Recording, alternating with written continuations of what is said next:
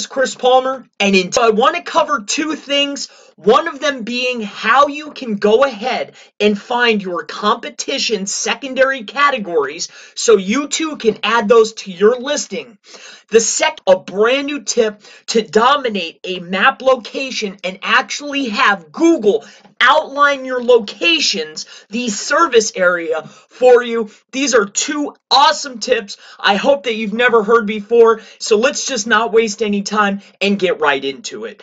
So the very first tip is I want to show you how you can find the secondary categories that your competition is using. So in order to do this, I'll break it down for you and let's do that now. So let's just say we're searching for a business.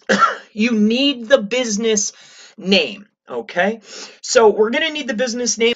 So we are searching New York SEO. So last time we used this business, let's use this one right here. New York SEO Authority. I'm not affiliated. I don't know who they are. I'm just simply showing you how you can find secondary categories of your competition. This is not my competition. I'm just using this as an example. All right. So we have New York SEO Authority. So what we are going to need is their actual name. So it's New York SEO Authority. And they are on Broadway, third floor. So we're going to go up here to maps. We're going to click on the maps. It needs to be done from the maps listing. So once we're in maps, actual name, we type it into the map. So New York SEO Authority. And then you need to know their address. When this little box comes up, you need to click on that and it will bring up their actual listing. As you can see this map over here, see me moving my mouse? This has changed over here. Now we need to find it in the list which is here. But you need the map to change in order for this to work. And you need, see how this just changed? See how this has just changed over here and this has came up? The map changed and this particular area over here to the left has changed. So this changed and this changed. Now we can go on this, highlight it, hit Control C if you're using a PC. If you're using a Mac, I'm not sure. I've never used a Mac computer. I don't use a Mac computer. I use a PC. So unfortunately, I'm not sure how this would work on a Mac. However, you highlight it, you hit Control C, then I'm going to right click and view page source. It's going to open up a brand new page. We need to take a look and remember, okay, it's internet marketing service. So on this page, the page source, we're looking for that. We're going to hit Control F. We're going to do Internet Marketing. All right, so here it is. As you can see, here's Internet Marketing Service. That's their initial category.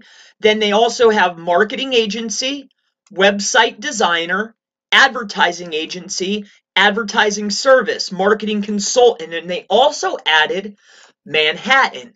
Now, I'm just going to go ahead and run back through that one more time because I know that a lot of you may have been having a little bit of trouble with this. So I want to make sure that you're able to do this without any trouble. So let's not use New York, and then I'll get into my second tip, this next tip is absolutely one of the best, most effective tips that you will absolutely love. So I'm going to go ahead and get into that second because I want you to learn this tip first. So let's go ahead and do that now. Let's search for something different. Let's search for um, a different agency. And the reason why I'm doing SEO agencies is because I know that they know uh, the ins and outs. So they're not just going to add one category. All right. Now, a lot of companies, if you're doing competition research, if they're working with an SEO agency and they're a roofer or they're a plumber or whatever the case is, if they're working with an agency, then they will have secondary categories. But I'm using SEO agencies specifically for these examples because they're SEO agencies. They know about secondary categories. So let's go ahead and just find another one just for fun. We'll search another location. You have this down pat so you can find the secondary categories as well. So let's go ahead and do that. Florida. All right. I'm initially from Florida, so we want to go down to maps. There's SEO Mavericks. I'm going to go and copy their name. Go back over to regular Google. We need to go to the actual maps. That's how this is going to work. So go to maps and remember there needs to be the search bar so I can literally type in their name because I need the map to change. This does not work any other way unless the map changes and it gives me the listing. So it's SEO Mavericks. Here it is. That's perfect. We're going to click on it. We are going to wait for the actual map to change and then it's going to bring up a listing. As you can see, the map on the right-hand side has changed, and then over on the left-hand side, it brings up their listing. Now we know that it's Internet Marketing Service. I'm going to hit Control C. I'm going to right click. I'm not sure why the Control C. That's always how I do it. So that's how I'm, I'm letting you know. I don't know if that's part of it, but any case, view page source, Control V. All right, so here we go. It, it's working yet again. I, am glad that I can show this. I wanted to cover this again. So here's Internet Marketing Service, Marketing Agency, Website Designer, Advertising Agency, Marketing Consultant, Public Relations Firm, that's new, and Internet Service Provider. So I'm, i hope that I've covered this well enough. I've, I've done two separate examples. I want to make sure that you completely have it. So let's get into this second tip. Let me walk you through exactly how it works, and then I'm going to give you an example of someone using this practice, and you are absolutely going to love it. So let's not waste any time. Let's get into that second tip. All right, so for this example, I'm going to show you on one of the local maps here in Pennsylvania exactly what I mean by this location triangle tactic that I so I want to show you how you can literally format a certain locale for your business and then have Google recognize it. So let me show you exactly what I mean and then I'll show you the example. So let's go ahead and get into that now. So again, this is a map of a location and how you would do this is simply like this. So let me go. It needs to be done within only main cities of a particular area. All right, I'm not sure exactly how far out we can go, but I've been playing with this a little bit and I've been able to do 200 miles. If you want to play with some of your unverified listings and see how far you can take it, by all means do this, but I will go ahead and showcase how this works and then I'll give you the example. So let me show you exactly how this works. Let's zoom in a little bit. so first and foremost, as you can see on this map, there are some particular locations that really stand out. As you can see, Cherry Hill, Vineyard, Dover, Baltimore, York. See these dots, but really these big ones are even better. But the main towns that are really big, Trenton. So how this works is simply like this. See how this one right here, Allentown? Oh, see how this says Allentown really big? So we would start here, right? I'll make a dot. Then we York, New York. Now you could pick either this one or Toms River. So we'll just do the one that's bigger because those work better here. And then see over here, this one's big, but you could do Atlantic City if you want, if you want to cover more region. But I'm going to go here because it's closer. I'm just doing this as a demonstration. Then we have Wilmington. See how this is coming around?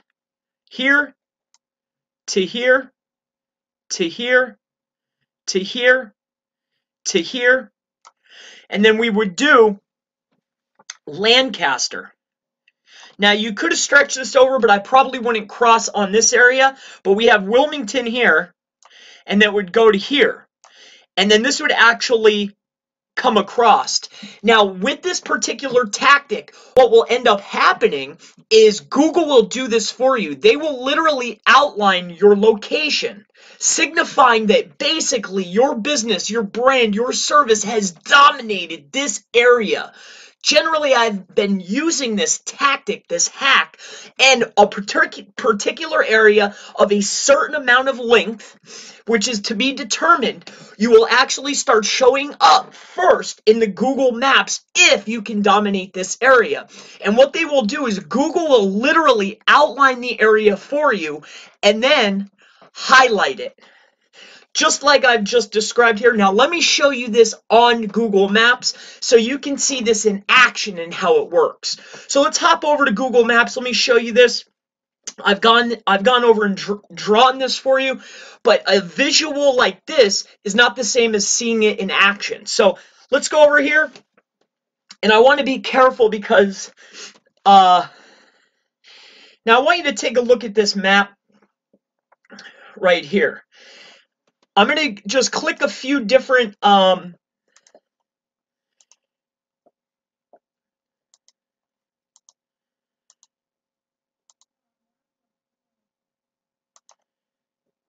particular agency, and this has happened. We've clicked on this particular listing, and the listing will change, and this will happen. Now you'll click on another listing, and this will happen. Now I just want to go ahead and just zoom in a little bit and show you this particular listing.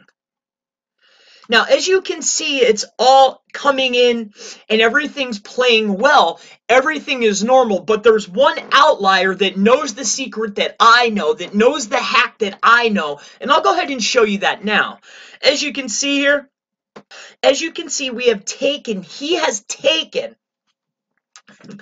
points, Atlanta, Tallahassee, Tampa, Miami, West Palm Beach, we have literally gone all the way around using the markers that Google already gives you on the maps and outline.